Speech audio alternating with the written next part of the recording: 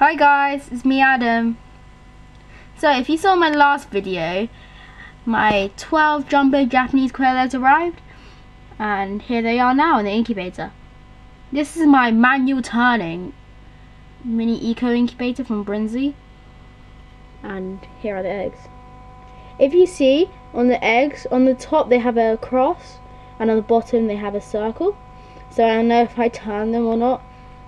So I turn them three times a day. I should be turning them three times a day. And I will do that. So the yolk doesn't stick to the shell.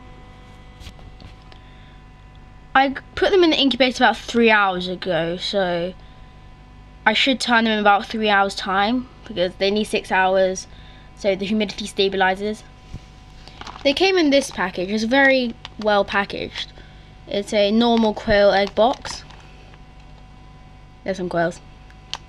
Hmm. Okay, so this incubator is a mini eco incubator.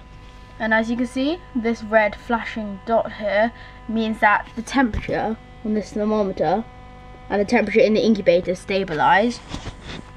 But if you do get this incubator, the red dot should stay on. That means it's still heating up.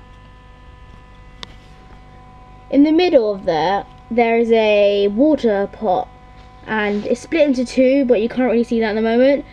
It's split into two in the middle. So when you first get the eggs and put them in the incubator you need to fill half of them half well half of the pot.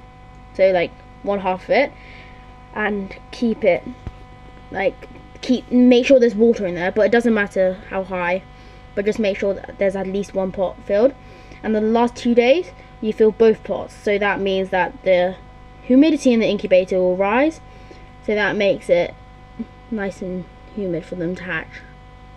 If, I don't think you can see but there's a fan up there and that fan just makes every egg nice and warm as it moves the heat around the incubator.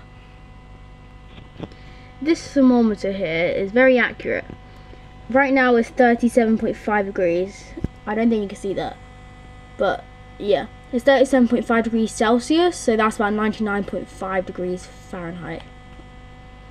To adjust temperature there's a small adjusting hole here. You put well you can use a 2 millimeter screw to adjust it. If you turn clockwise one quarter it will rise temperature by 2 degrees Celsius. That's 4 degrees Fahrenheit.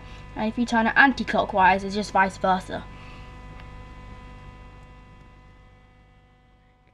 Quail eggs should be 99.5 degrees Fahrenheit. But let's just hope they hatch really.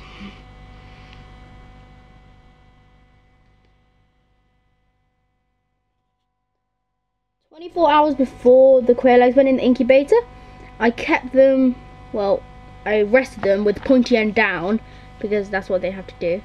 You have to do. So, because they've just been through the postal system, so that's how they you have to rest them like the pointy end downwards.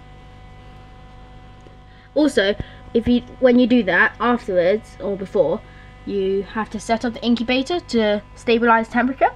And that's what I did and hopefully it'll be fine.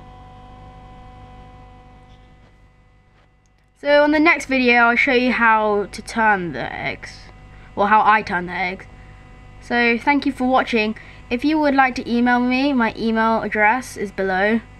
So, yeah. You can ask me any questions. I hopefully can answer them. so, yeah, thank you for watching. Oh yeah, you could also add a comment below or a question. So thank you for watching guys. See you on the next video. Bye.